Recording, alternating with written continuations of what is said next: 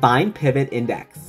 Given a list of integers, consider the indices of the list. Find the pivot index. The pivot index is an index where the sum of all the numbers strictly to the left is equal to the sum of numbers strictly to the right. We will solve this in O of n time. First, we will calculate the total sum of the list, and we set the left sum to 0. We then iterate through the list. We then calculate the right sum by taking the total and subtracting it by left sum and the current value. In this case, the total is 28 the left sum is 0, and the current value we are on is 1. So the right sum equals 27. Notice the left sum is not equal to the right sum, so we take the current value we are on and add it to left sum. And we continue. We calculate the right sum using the equation. It equals 20, and notice again the left sum is not equal to the right sum. So we take the current value we are on and add it to left sum. And we continue. We calculate the right sum it equals 17, and once again the left sum is not equal to the right sum.